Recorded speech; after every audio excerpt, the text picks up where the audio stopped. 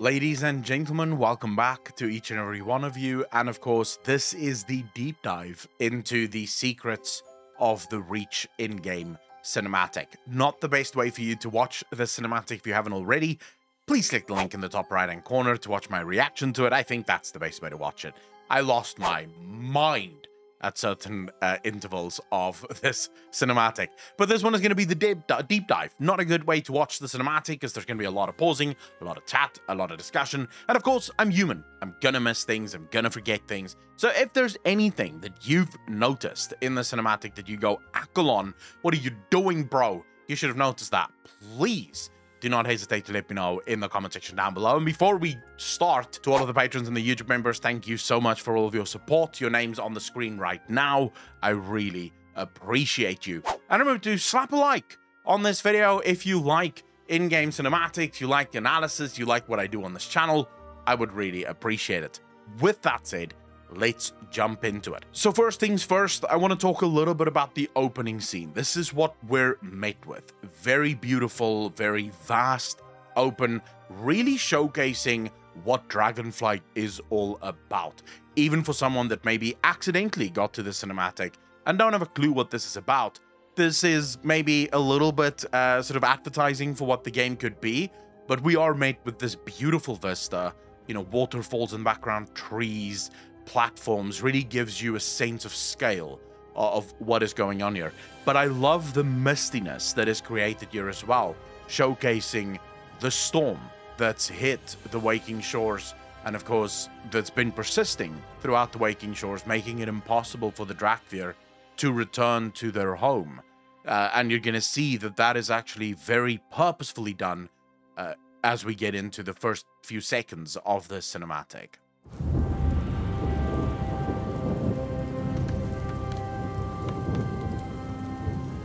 Is receding.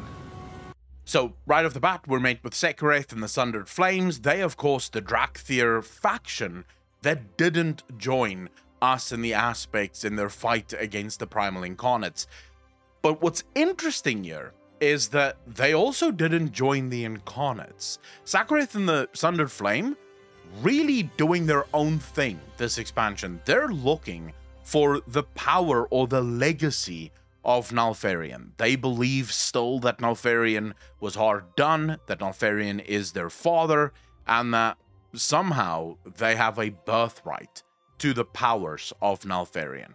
So they, they really feel hurt. And we heard yesterday during the interview with Steve Danuser that in this expansion, they really wanted to highlight the duality of villains in the cinematic. And I think they do it so, so well. And if you really start thinking about it, Dragonflight really is the first expansion where we have quite a few enemy sources that do not necessarily work together. They're not necessarily on the same side. So let's start off with uh, probably the one that right now seems to be playing very much in the back in the sort of back rows, and that would be the Twilight Dragons. We know we, we had a very short quest line where we saw the Twilight Dragons and they're very hellbent on bringing uh, forth Murozond within this expansion.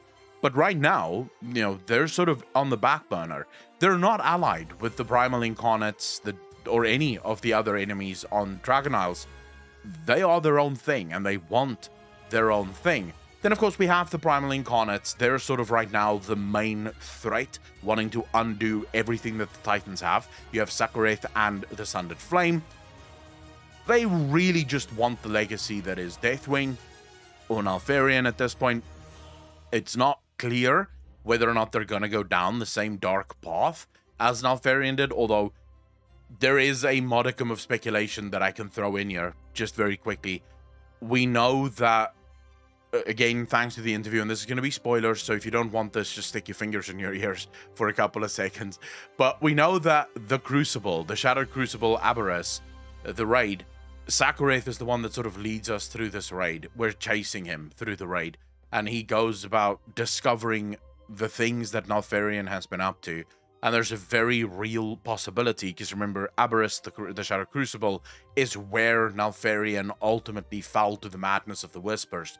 So there's a very real chance that Sarkareth and the Sundered Flame ends up succumbing to the exact same sort of madness within Aberrus. So, you know, just gonna throw that out there. And then you have the Djaradin, who right now they're seemingly kind of sort of uh, allied with the Incarnates, but also not really. They, they want to kill the, the aspects, and then they want to kill the Incarnates. So again, another source of enemy, and another antagonist within the story, but not quite, uh, you know, aligned with anything else. So there's really a lot of moving pieces on the board that is Dragonflight right now. Very cool. The opening line here gives us a moment in time for the cinematics. Sarkareth says here, uh, the storm is receding. This tells us this should have happened right after uh, Raszageth's defeat. The final moments of her life sort of flickering away there. The Reach is ours once again. I will highlight something very interesting about Sarkareth here. And if I'm butchering his name, I do apologize, but he doesn't have the eyes of a villain to me. When I look into his eyes, there's there's not hatred in his eyes. So it's not feel you know, again, this is sort of a cinematic choice, a cinematography choice uh, oftentimes a story choice where villains will look like villains just to make sure that the audience understands this is villain. You know, this is not a good guy. This is the guy that you should hate. And if you think back in World of Warcraft, all villains have sort of looked like that. Whereas with Sarkareth, his eyes are kind. These are not the eyes of an angry person. If you think about, you know, why he turned away and why he went his own way, it was mainly confusion. He didn't understand being woken up and realizing that Neltharion is dead. They don't know what happened. They don't know the story of what happened. And they don't trust anyone but uh, Neltharion. And so they're off now trying to find their own way. But his eyes certainly don't scream villain yet.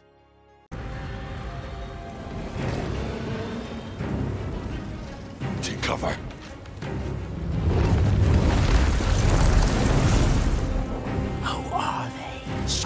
So this again just highlights from a cinematography standpoint that sort of duality of enemies. They're hiding in the shadows, but it also gives us a power level comparison.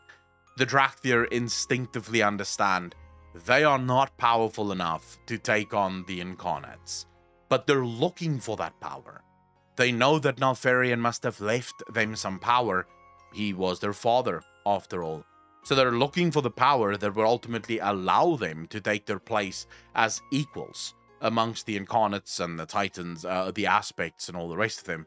But right now, hiding in the shadows, just looking up at them and clearly not sure who they are. This is actually a very nice moment in the cinematic, just showcasing just how shielded the Dracthyr were and how secret Neltharion kept the Dracthyr just listen to the conversation that happens here. Are they Sarkareth? Is it the aspects? They don't even know what the other aspects look like, giving us a lot of insight into the secret keeping of Neltharion. Just how many secrets Neltharion actually kept. His own brothers and sisters were completely unknown to the Dracthyr, or at least to the majority of the Dracthyr. Sarkareth, on the other hand, because he's been searching for information, for knowledge, he knows that no, no, no, these are Raszageth's kin. This is not the aspects. No. Raszageth's kin.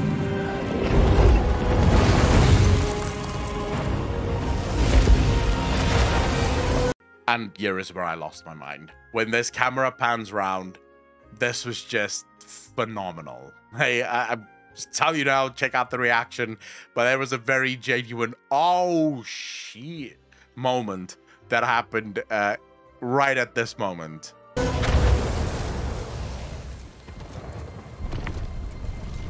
Alright, so gotta pause here for a minute because there's a lot to unpack here. The first thing that I want to sort of tackle is there's currently a rumor going around within the community that this is very reminiscent to a lot of people of the Eternal Ones.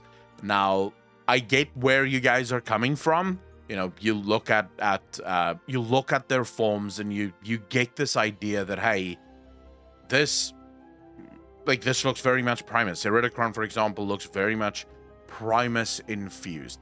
Vyranoth, on the other hand, very Winter Queen vibes. I genuinely believe that this is purely by accident. There is a outlandish theory in here that would suggest that, you know, during one of the cycles where death was trying to make incursions into reality, as we know that all of the cosmological forces are wont to do, that death chose themselves some dragons, some proto drakes to empower. There is that outlandish theory, although to me, I think it, it is just coincidence. I don't think that is what they ultimately went for. It's far more just a case of they really do look like their elements. They, they really do resemble their uh, their elements, so to speak. I want to take a moment to discuss their visage forms because this is something that I haven't seen a lot of people touch on. It's interesting that all other dragons, their visage form will be mortal like. Even though they can choose any visage form they want, the primalists, on the other hand, choose visage forms that is humanoid, but no, no more mortal than anything else that you could find. They distinctly choose not to present themselves as mortal, and this to me showcases a pride that the primal incarnates have in being primal and being part of the elements.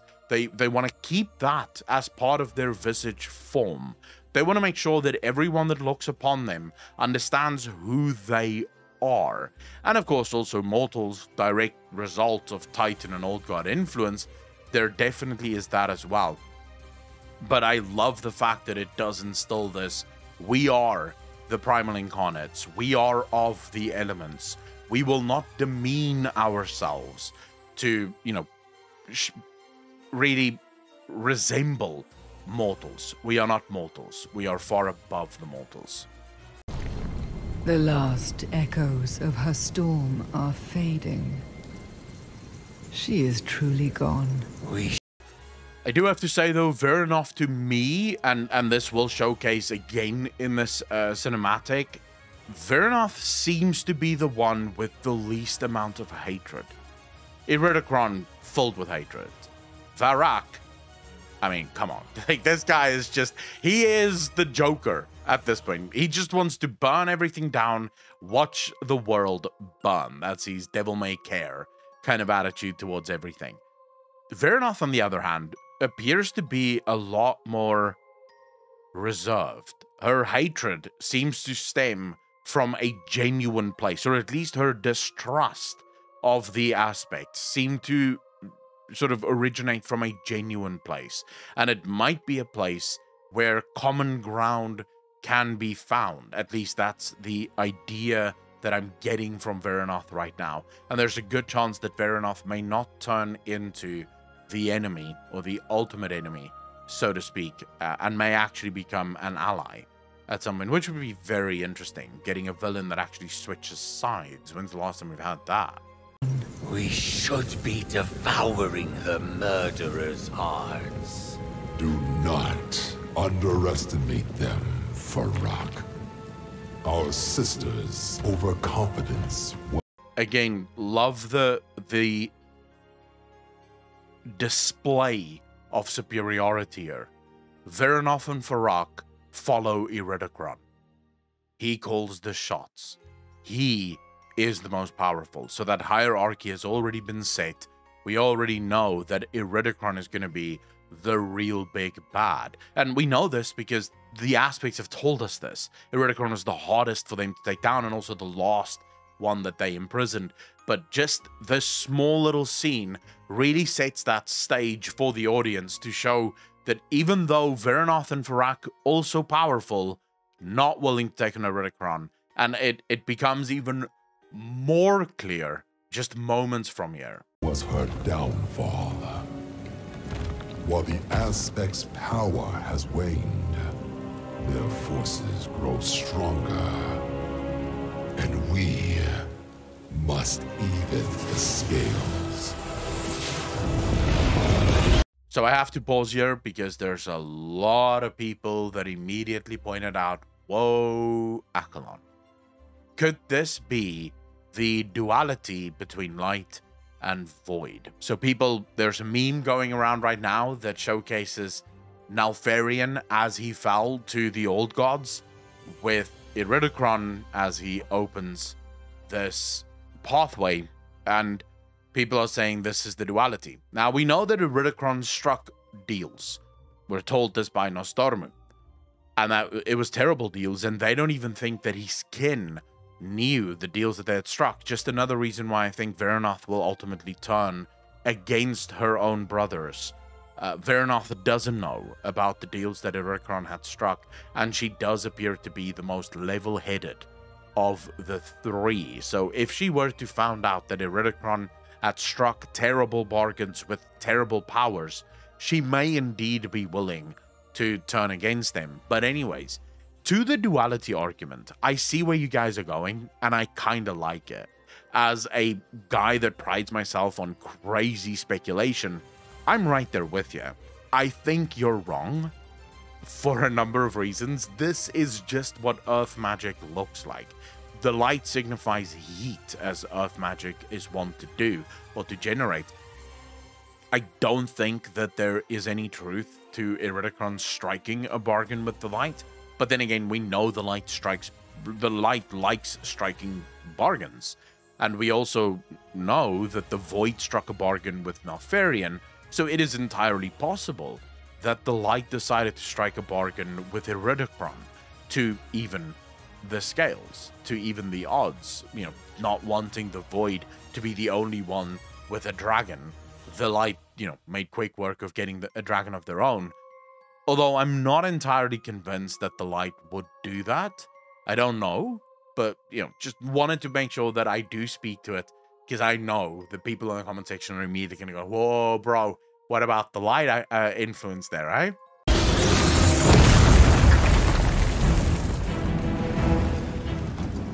They kept so many secrets from us. That line I said yesterday during my reaction as well is incredibly impactful to me. And maybe it's just me. Maybe the rest of you are listening and saying, on, this doesn't matter. But to me, that line, they kept so many secrets from us and from each other. What makes that line so impactful is the way in which she says it suggests a genuine betrayal. She feels betrayed that they decided to keep secrets from them. And what I don't understand there is that if you were adversaries, or if you were sort of below the aspects, we know the aspects were elevated to be the rulers of dragonkind. If the primal incarnates were sort of lesser drakes or proto drakes at that point, why would they ever expect the aspects to share any of their secrets? The aspects are far more intelligent than the primal incarnates. However, the way she says it suggests that this is not wholly true. The primal incarnates were not beneath the aspects. It almost feels like they were equals at one point, perhaps created to be equal, now, I will say we have Tyr's vaults, and Tyr has two vaults. One vault dedicated to the aspects, another dedicated to proto-drakes. We know the Titan Keepers love their experiments. So I shall throw out now. What if the aspects were meant to be the embodiment of the cosmological higher magic? So, a step above and the primal incarnates were meant to be the ones governing the elements of Azeroth. If that makes sense. So the Titans created two bodies. One body would govern the elements, and ensure that the elements never again fall to the influence of the old gods, but also ensure that balance remains intact for the elements. Another body would ensure that the functions and systems of Azeroth remains intact. And in time, the Titan Keepers started to favor the aspects far more than they favored the primal incarnates. Perhaps the primal incarnates were created even before the aspects, and the aspects were simply an upgrade. So the primal incarnates were cast aside, perhaps imprisoned for a time by Tyr and the Titan Keepers. I'm just sort of spitballing here. Obviously, I have no idea, but in my mind, that could definitely happen. And even from each other.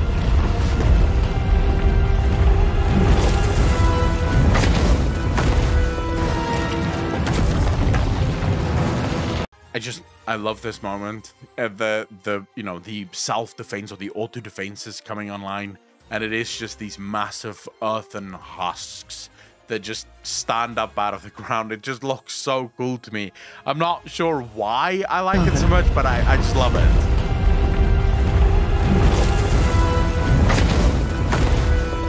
But again, you can see the light in the earthen magic. Remember, Neltharion also earthen. And if you look at the, the, the color profile of this magic, you will find that it is exactly the same color profile as the color profile that Iridikron used earlier in the cinematic. So if you look at that color profile, you'll find that this is exactly the same color profile. So there really is no reason for there to be any light influence in this. It is the same.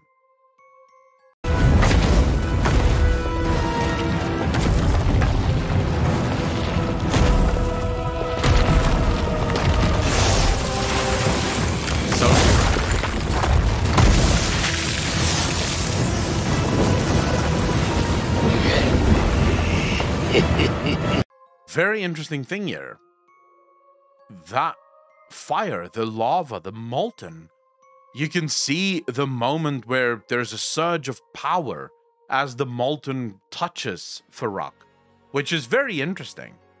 Being able to power up just by touching molten lava uh, suggests perhaps future elements to his fight, because you just know we're gonna fight this crazy bastard at some point. But if you look at his reaction here, there's definitive power gain, or at least a surge of something that goes through him as this magma molten lava flows over his hand.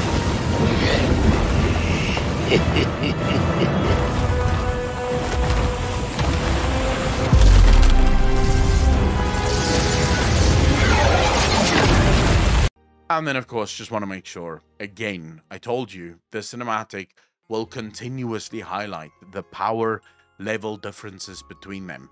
Fyrakk and Vyranoth both only fought one of the elements, or of the protectors, shall we say. Iridikron fights all of them and kills all of them at the same time. Now you could argue but Accolon, this is really not a fair fight. This is Iridikron's territory. He's fighting Earth and things. He is the primal incarnate of Earth. I imagine that this would be true no matter what enemies. Iridikron truly is being shown as hyper, hyper powerful. It is here. Neltharion's betrayal shattered their unity. Left fissures in their hearts. There's now twice in the cinematic mention of heart. Fyrakk says right in the beginning, we should be devouring their hearts. And now Iridikron mentions fissures in their hearts.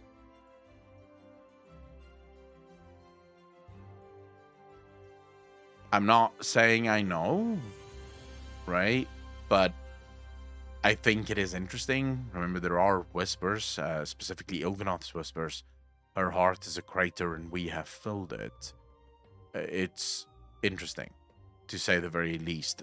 And I just caught that literally right now. With all my preparations for this video, I only literally just now, while recording this, realized, whoa, wait, that's now twice that they've said hearts in the cinematic, and in both times it, it really was hyper accentuated. So it must mean something. What I'm very, very interested in is how did Iridikron know these things? How was Iridikron involved in these secrets? Other, of course, than his connection to the Earth which one could argue maybe gave him some insights into things that Neltharion had done within the Earth. Uh, I, I still find it interesting that he would know any of this.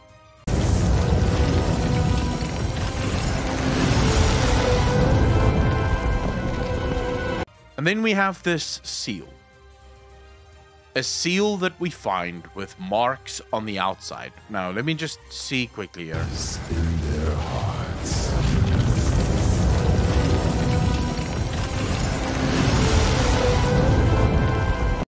So we have the runes on the outside. We have one, two, three, four, five. The five runes on the outside. We have what seems to be three runes on the inside. And when he picks it up, I believe there's another five runes that come out of this. Could these runes be reminiscent of the dragon aspects themselves? Five aspects, five runes. He speaks about the betrayal of Deathwing.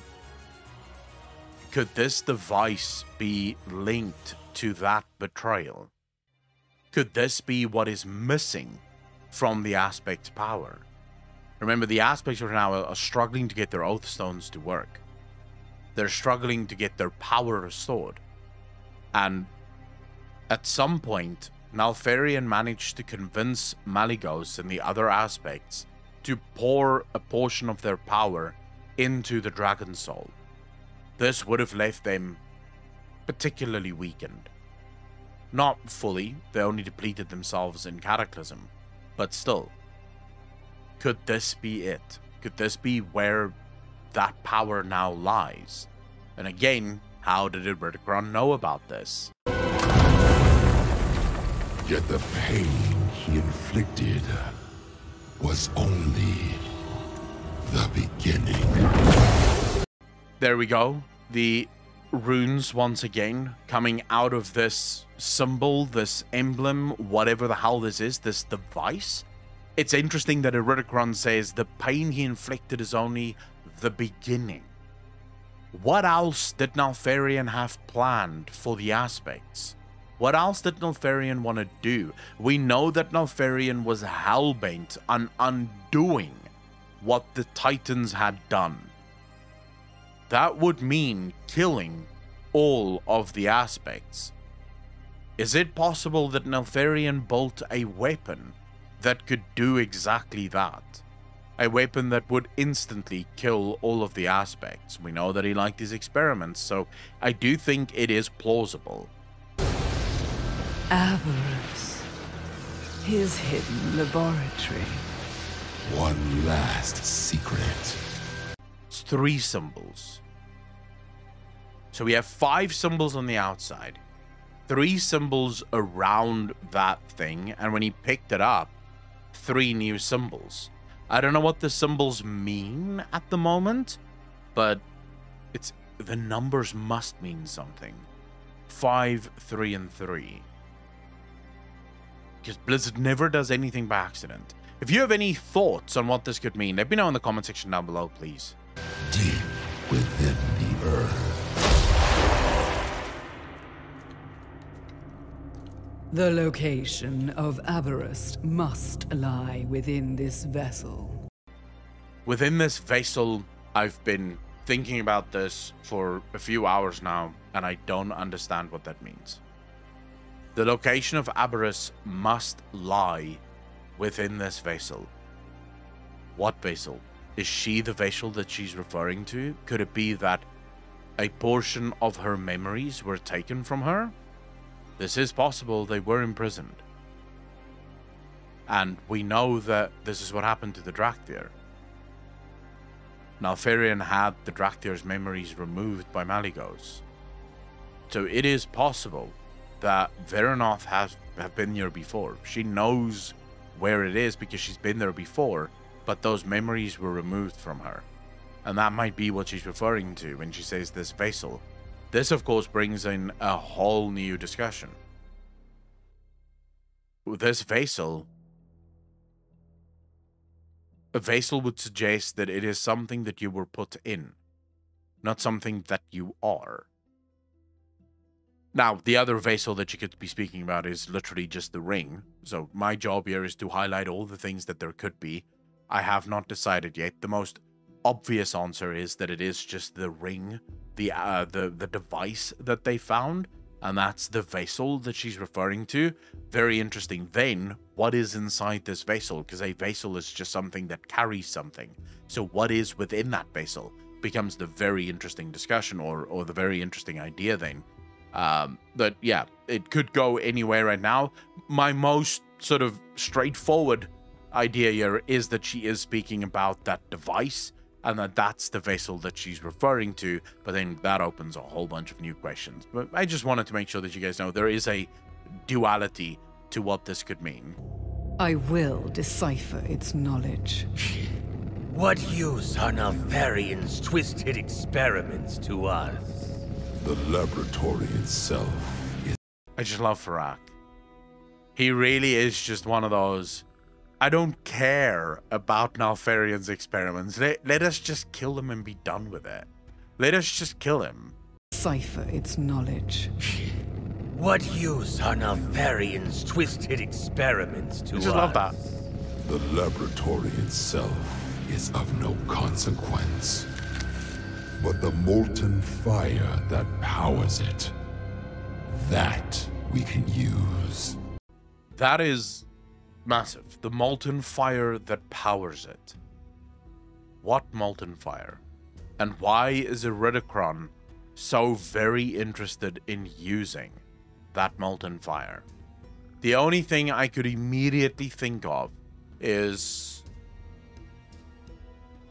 Fire Lord, the Lord of the Fire Realms, Ragnaros. Now, the only reason that would not be possible is Ragnaros is dead. We killed him twice. So we, we are well aware that Ra- Ragnaros is dead, and it's been confirmed that Ragnaros is dead. Could it have been a portion of Ragnaros' power, though? Is it possible that Neltharion stole a portion of Ragnaros' power and used that to power his laboratory? I genuinely don't know.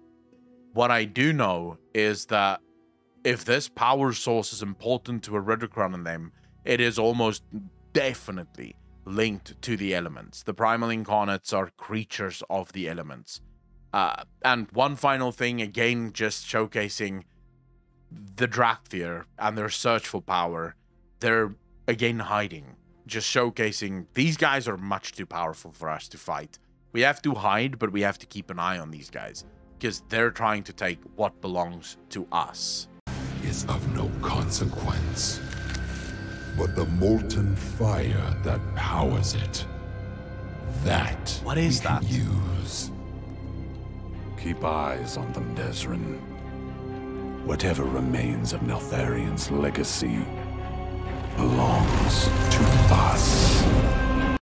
I just love that. It belongs to us. Again, they don't want to defeat the Titan, uh, the aspects, or the Titans, or really necessarily want to kill anyone. They just want what they believe is theirs, and that is the legacy of Neltharion. And of course, the Primal Incarnates, they don't think that they deserve it. They just want to take it, and they think that they're powerful enough to do so. I love this final moment with them just flying off.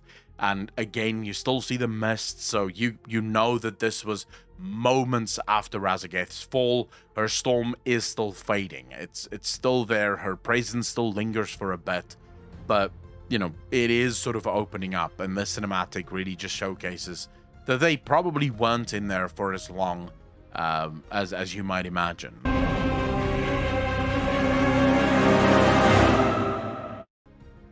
Anyways, ladies and gentlemen, that I think is the analysis. If I've missed anything, please let me know in the comment section below. Although I know that you guys are diligent and you will let me know if I missed anything. So I'm really looking forward to reading your comments on this one.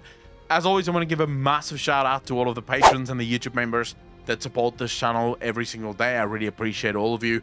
Uh, if you want some uh, access to very naughty WoW hentai, then head over to Patreon. All uh, content on Patreon is available at only $1 per month. So your support is very, very much appreciated. And of course, we are working up to all manner of other things. Remember to hit that like button if you enjoyed it. Hit the subscribe button if you want to see more of this channel. And as always, ladies and gentlemen, be kind to each other, be good to each other, and I will see all of you in the next one.